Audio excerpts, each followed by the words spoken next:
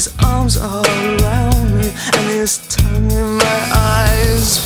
Still can't you quiet now?